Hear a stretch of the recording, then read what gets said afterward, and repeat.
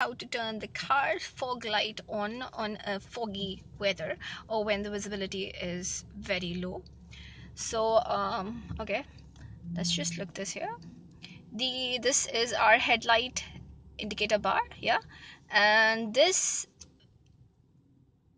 is the icon for the fog light and this is for the headlight. If i turn this on you see there's nothing displayed because your uh, your fog lights are only going to work if the headlight is on. So even if it's on a low beam it's gonna work. So now you see there's a display over there which uh, which shows you the fog light and your headlight. Yep. Now similarly when I turn this off that's my fog light you see that the indicator disappears from there. There's nothing on the display. And then I can turn this so drive safely. Bye bye